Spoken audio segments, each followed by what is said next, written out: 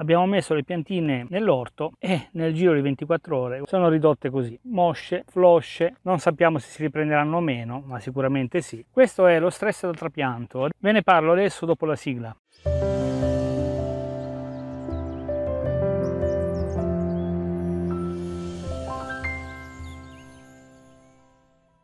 Allora, sia che abbiate coltivato le piantine dai semi come ho fatto io, sia che le abbiate acquistate nelle vaschette, se le mettete a terra senza alcuni accorgimenti non succede nulla, eh? 9 su 10 si riprendono, però per non vederle così, con pochissimi accorgimenti possiamo evitare questo stadio che si chiama stress trapianto ed avere delle piantine come questa. Guardate, è piccola, è vero, però guardate che foglie. Tutte queste piantine che vedete qui le ho trapiantate ieri, alcune stanno soffrendo, altre molto meno e questo perché non ho seguito la stessa tecnica sia per l'una che per l'altra e adesso vi spiego il motivo. Sono alle spalle della proda che avete visto un secondo fa e queste sono le altre piantine da mettere a dimora. Ora sostanzialmente sono due i problemi che portano lo stress della piantina. Trapiantare piantine che non abbiamo correttamente innaffiato il giorno prima, abbondantemente anzi direi, e la stessa innaffiatura va fatta poco prima del trapianto. Vedete questo è inzuppato d'acqua, io l'ho bagnata a fondo ieri tanto che colava l'acqua di qua, sapevo che oggi avrei dovuto trapiantarla, ho rifatto lo stesso trattamento con abbondante acqua oggi, quindi questa è pronta per il trapianto. Questa così come vedete sono tre piantine, ora queste due le lascerò da sole, questa la trapianterò da parte. Se io non toccassi il pane di terra, cioè prendessi la piantina e la mettessi direttamente nel terreno, questa non soffrirebbe assolutamente nulla, neanche se ne accorgerebbe. Ora dal momento che devo dividere le radici,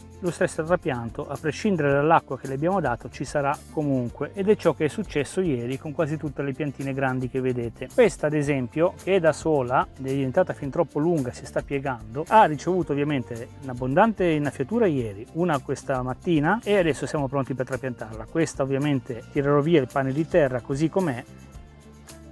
Ecco guardate.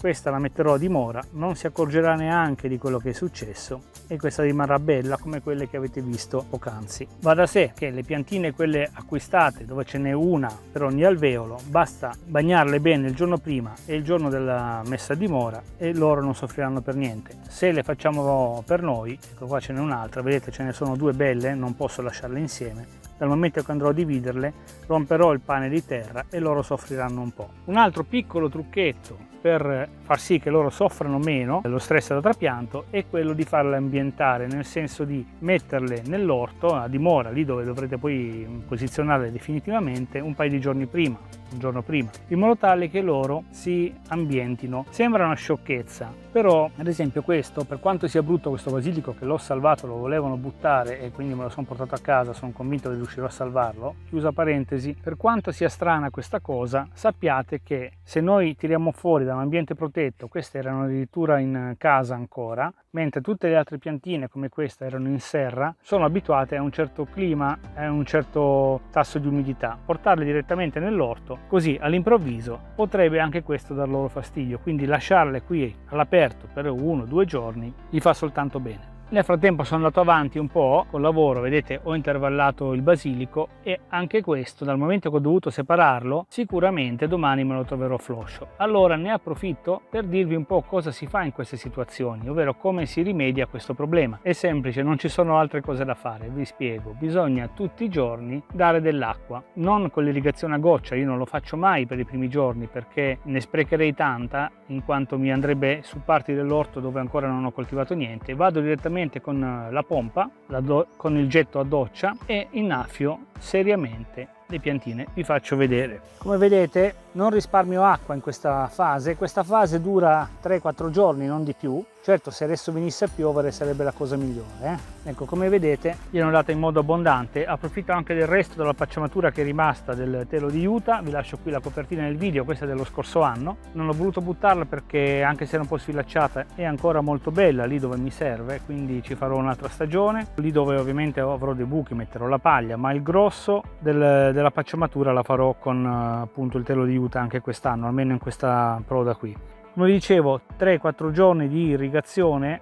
abbondante come ho fatto io, se c'è la pacciamatura è meglio perché l'acqua rimane un pochino più nel terreno senza evaporare subito. E vedrete che nel giro di 3, 4, 5 giorni se il trapianto è stato fatto correttamente le piantine verranno su e si riprenderanno come questa qui.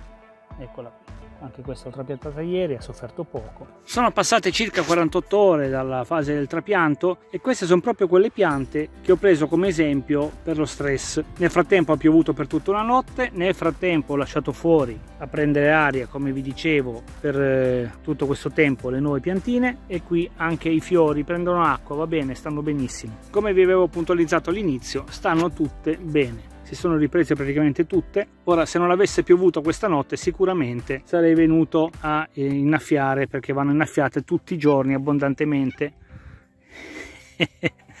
eh sì, eh sì, va bene. Quindi non vi dovete preoccupare se siete all'inizio di questa avventura nell'orto di vedere piantine mosce o comunque eh, giù di tono dopo il trapianto perché vedrete che nel giro di 24-48 ore, a parte i gatti, si riprenderanno completamente. Basta dargli acqua. È diventata una festa ragazzi. Bene, è stato un video veramente semplice, molto veloce, lo pubblicherò quanto prima perché questo è il momento dei trapianti, quindi ricordatevi, bagnate bene il giorno prima, bagnate il giorno dopo, lasciateli a dimora di dove andranno trapiantate per uno o due giorni e se non toccate il pane di terra, che non dovete dividere le piantine, vedrete che queste non soffriranno assolutamente lo stress del trapianto. Spero che questo piccolo consiglio vi sia utile, grazie per aver visto il video fino a questo punto, lasciate un like, condividete, iscrivetevi al canale, ci vediamo la settimana prossima. próxima.